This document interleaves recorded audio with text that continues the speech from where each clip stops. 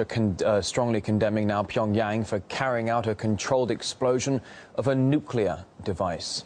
This after North Korea confirmed its third underground nuclear test uh, aimed against what it called, quote, outrageous U.S. hostility. Uh, details now from RT's Anissa Naouai.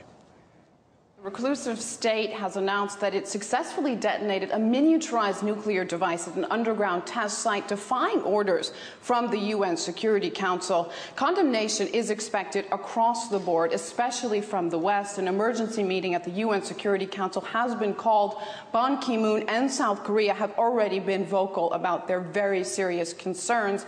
Now, the main issue is that this puts North Korea one step closer to its goal of building a nuclear warhead small enough to mount on a long range missile capable of reaching the United States. It's still early in Washington, but this is seen as a direct threat from uh, a direct message, I should say, from new leader Kim Jong un to President Obama just hours before he gives his annual State of the Union. Surely President Obama will react somehow, most likely by threatening more sanctions and further isolation. The big questions are is that enough to one, deter North Korea from its nuclear ambitions, and two, is that the right right method threats if there is a real danger of nuclear activity. RT's uh, Anissa Naouai reporting right there. In the meantime, Asia specialist Tim Beal, he thinks that uh, foreign sanctions will fail to rein in North Korea's nuclear ambitions, as Pyongyang can only be appeased through the issue of negotiations.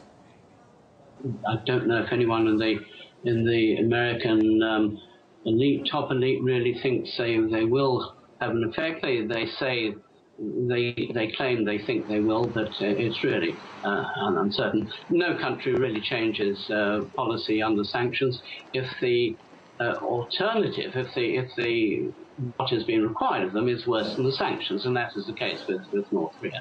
So uh, North Korea, in a sense, could could surrender to, could acquiesce to uh, to American demands, but that, in fact, in their eyes, would be worse than what Americans can do to them with sanctions. So they will they will persevere, and I think they will persevere until the Americans uh, come to the negotiating table. Whether that will happen, of course, is another matter.